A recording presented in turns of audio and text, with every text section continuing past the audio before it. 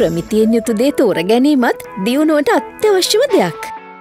විෂන්කයා විෂ සතියක් ඇතුළත පාර්ලිමේන්තුව විසරවී කියලා අපි අපේක්ෂා කරන අපට තියෙන ආරංචි මාර්ග අනු. විස්සුරපු දවසේ ඉඳලා දින පනස් දෙකකුත් හැටහයකුත් අතර චන්දවිසිීම තියන්න පුළුව. මේ කියන චන්දවියසී අප්‍රේල් මාසේ විසි දෙවනිද විතර පස්සේ නැත්තම් විසිතුන් එන්න විතර පත්. මැයි මාසේ හතරවෙනිදා හෝ එදිනට පෙර පවත්වන්නට වෙන. ඔොද දවස් හැටහය එනකොට වෙසක් උත්සවයට ආසන්න වෙන නිසා. වෙසක් පුර පසලොස්සක පොහේ යෙදෙන්නේ මැයි මාසේ හත්වනිදා. එක නිසා කලින් දවස්වල මේ හයවෙනිදා අපට පස්වනිදා වෙනකොටවත් අපේ විහාරස්ථාන සම්පූර්ණයම නිදහස් වෙලා තියෙන නිසා අන්තිමටම හතරවෙනිද කියලා අප හිතනවා.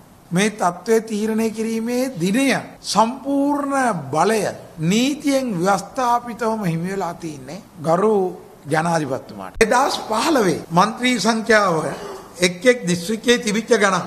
වලින් වෙනස් වෙලා තියන්නේ ගාල්ල මාතර බදුල්ල සහ මොන්රාගල පමණයි. එකතුව එකසි අනු හයයි.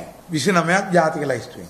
මේ එකසි අනු හය තිස් හයක් එක්දා සමසි අසුව එකේ ඩීලිමිටේෂන් කමිටි රිපෝට් එක අනුව බෙදල වෙන් කරපුවා. එක පලාතකට හතර බැගින්. හැබැයි ඒ පලාතට හතර බැගින් බෙදුවම ඒ හතර දිස්ත්‍රික්කවලට බෙදලා තියෙන්නේ. ඩීලිමිටේෂන් කමිට ඒක වෙනස් කරන්න මැතිවරණ කොමසාරිස්තුවත් එවකට මැතිවරණ කමිෂන් සභාවටත් බෑ. බදුල්ලට මොන්රාගලට දෙකයින තියෙන දිස්ත්‍රික්ක දෙක දෙක. අනුරාධපුරේ පොළොන්නරුව වුණා දෙක දෙක.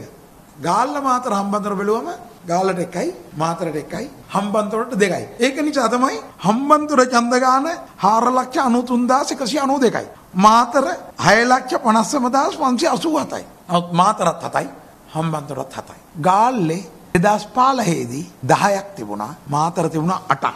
බදුල්ලේ මොණරාගලයි තිබුණේ පිළිවෙලින් 8යි 5යි. දැන් මේ අවුරුද්ද වෙනකොට 2019 ලයිස්තු හදනකොට අර තිබුණේ 2014 ලයිස්තුවෙන්. අවුරුදු 5කට පස්සේ ජනසංයුතියේ ඡන්ද හිමියන්ගේ සංහිටිය වෙනස් වීම නිසා ගාල්ලේ වැඩිවීමේ ප්‍රශ්නය අඩු වෙලා මාතර අඩු වෙලා අර දෙකේ වැඩි වෙලා තිනවා කොහොම හරි. එතකොට ගාල්ලට එකක් අඩු වෙලා බදුල්ලට ගියා. මේ අවුරුද්දේ ඊට කලින් අවුරුද්දේ මාතරින් අඩු වෙලා මොන්රාගලට ගියා. දකුණෙන් දෙකක් ඌවට ගිහිල්ලා තියෙනවා මුළු ඡන්ද ගාන එක්කෝටි හැට දෙලක්ෂ හැටතුන්දස් අටසි අසූ පහයි. මිලියන දාසයක් තියෙනවා දාසයයි දෙසී ඇයට තුනයි අටසි අසූ පහයි.